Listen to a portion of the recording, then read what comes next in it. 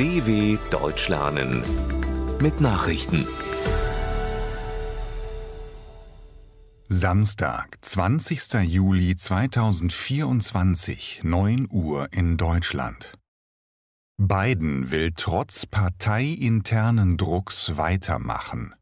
Trotz wachsender Zweifel an seiner Eignung als Präsidentschaftskandidat zeigt sich Joe Biden weiter siegesgewiss. Der 81-jährige US-Präsident kündigte an, nach seiner Corona-Erkrankung in der kommenden Woche seine Wahlkampftermine weiter aufnehmen zu wollen. Der parteiinterne Druck auf Biden nimmt derweil zu.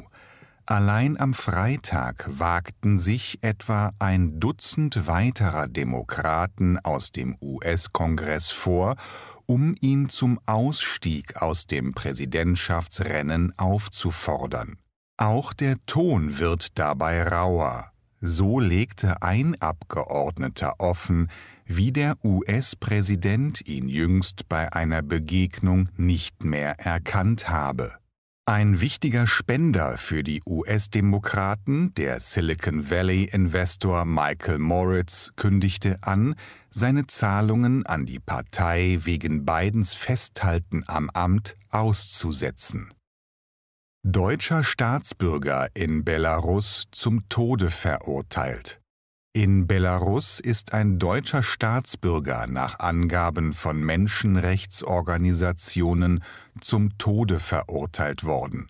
Dem Mann würden unter anderem Terrorismus, Spionage und illegaler Umgang mit Waffen vorgeworfen, teilte die Organisation Viasna unter Berufung auf nicht genannte Quellen mit.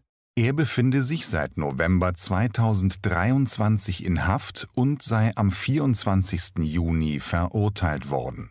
Die Behörden in Belarus haben die Verurteilung bislang nicht bekannt gegeben.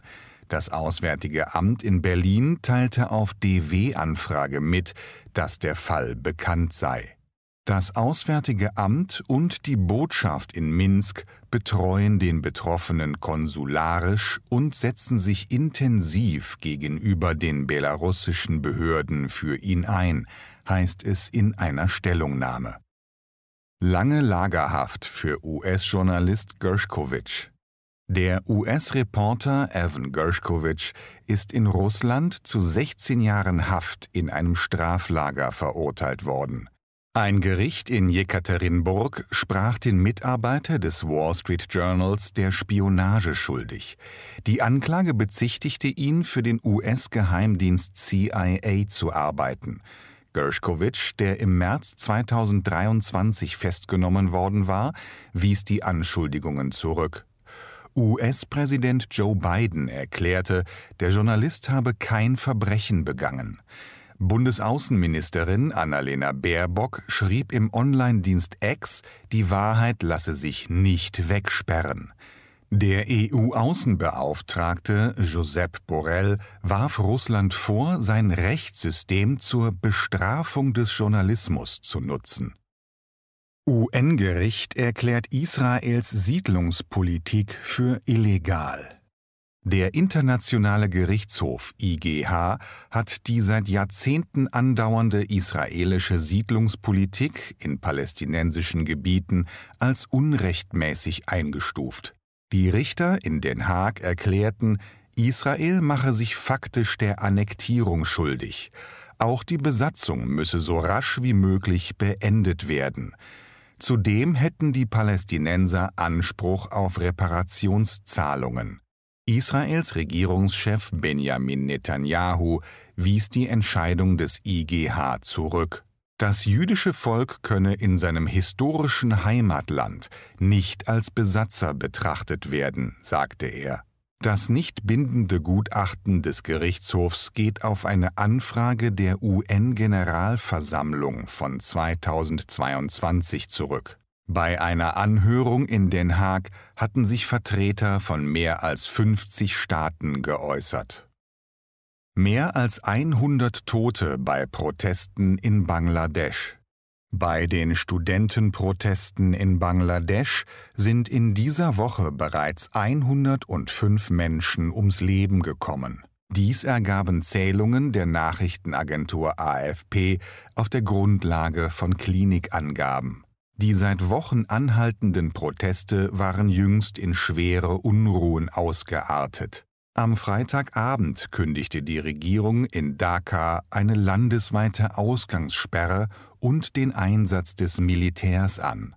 Die Studenten demonstrieren seit Wochen gegen ein Quotensystem der Regierung. Dieses sieht vor, dass mehr als die Hälfte der gut bezahlten Stellen im öffentlichen Dienst von Bangladesch bestimmten Bevölkerungsgruppen vorbehalten sind. Nach Angaben der Kritiker begünstigten die Quoten die Unterstützer der 67-jährigen Regierungschefin Sheikh Hasina. Mindestens 40 Migranten sterben bei Bootsunglück vor Haiti.